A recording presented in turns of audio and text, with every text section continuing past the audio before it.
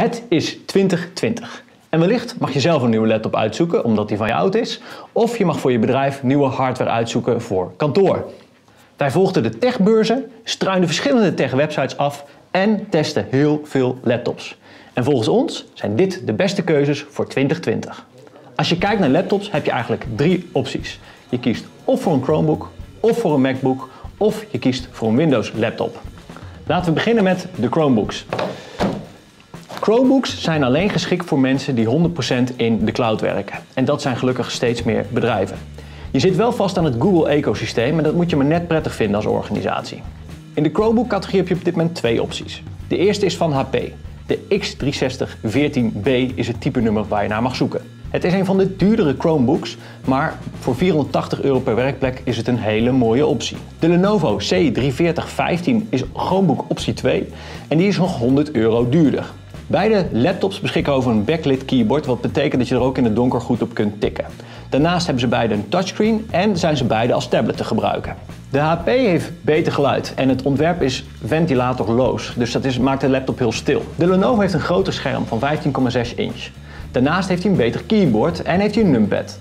Tot slot heeft hij betere processoren, zowel voor video als voor ruwe rekenkracht. Hij is daardoor echter dus ook zwaarder en de prijs ligt hoger. Omdat het best verschillende laptops zijn, is het wat meer een persoonlijke voorkeur. En ik neig daarbij naar de HP.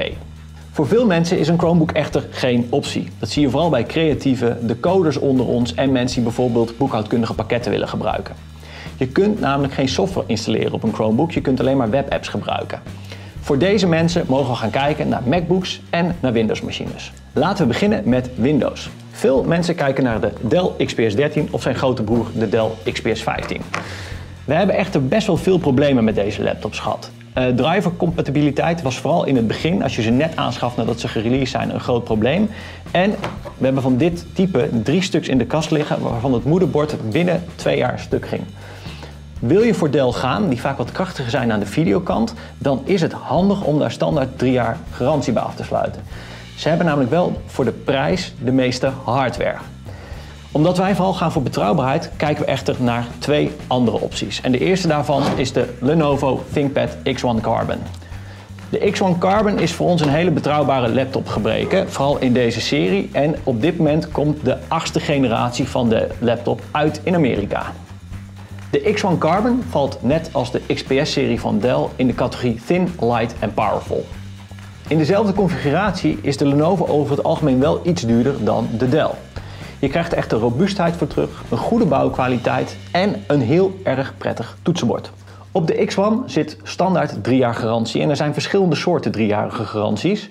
De mooiste is on-site garantie. Op dat moment komt er een monteur naar je kantoor of je werkplek toe, repareert je laptop terwijl jij een bakje koffie drinkt en daarna werk je gewoon weer verder. Als je nog even kunt wachten tot de achtste generatie van de X1 in Nederland uit is, krijg je het meeste bang voor je bak. Een derde optie is de HP Dragonfly. Het is wederom een thin en light en het is de lichtste van de drie, maar ook de duurste van de drie. Aangezien wij op het werk veel geven om privacy, is het echter een interessante optie. Er zit onder andere een hardwarematige knop op om je webcam uit te zetten. En de laptop is te krijgen met een privacy screen, waardoor die niet onder een hoek is af te lezen. Wat vooral prettig is voor de treinreiziger of de vlieger die niet wil dat men over zijn schouder aan het meelezen is. Al deze Windows laptops zijn te verkrijgen in verschillende configuraties. Daarbij kiezen wij altijd een aantal standaard dingen. Ten eerste kiezen we vaak voor de krachtigere processoren, die zijn sneller en daarmee kun je simpeler sneller werken en gemiddeld wordt zo'n apparaat toch drie jaar gebruikt. Daarnaast kiezen we vaak voor HD-schermen die mat zijn.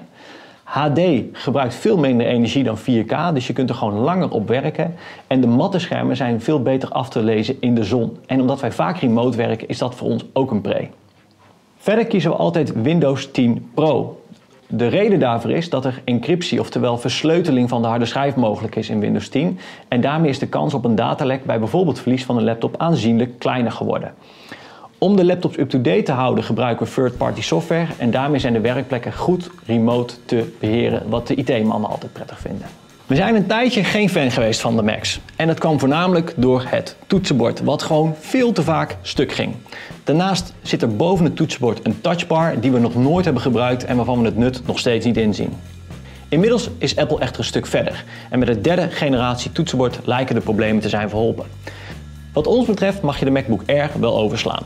Want voor 250 euro meer heb je al een MacBook Pro. Deze is veel krachtiger en als je er iedere dag op werkt is die snelheid gewoon heel erg wenselijk. Hij is wel wat zwaarder, dus als je heel erg om gewicht geeft, kan de MacBook Air voor jou misschien een optie zijn. Ben je van de foto- en de video-editing, dan mag je gelijk gaan kijken naar de 16-inch MacBook Pro. Ja, die is nog 1000 euro duurder, maar het is een enorm powerhouse voor deze doeleinden. En daarmee een grote, maar hele mooie optie.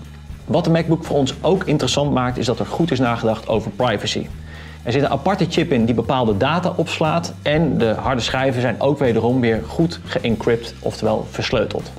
Overal valt er in laptopland op dit moment heel veel te kiezen. Een beste oplossing is er eigenlijk niet. Er zijn alleen goede oplossingen voor de situatie die het best bij jou past. Denk goed na wat jij belangrijk vindt. Moet het een groot scherm zijn? Moet het een klein scherm zijn? Welk besturingssysteem past het best bij jou en je organisatie? En wat vind je belangrijk op het gebied van security, privacy of reparabelheid van de verschillende opties? Ik hoop in ieder geval dat we een aantal mooie dingen met je hebben besproken, dat je een aantal nieuwe inzichten hebt gekregen en dat je op basis van deze video een hele mooie nieuwe laptop uit kan zoeken. Veel succes daarmee!